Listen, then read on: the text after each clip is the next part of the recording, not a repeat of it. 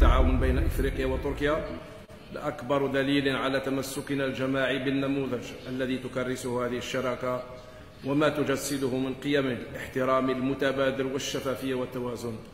فضلا عن نتائجها الإيجابية في ترقية الحوار السياسي والسعي لتحقيق تنمية مستدامة تعود بالنفع على الجانبين.